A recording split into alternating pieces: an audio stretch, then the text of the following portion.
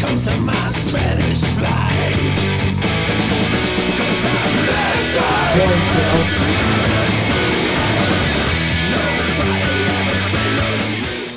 I've been surfing life like 20 years. Now I got such a bad eyes.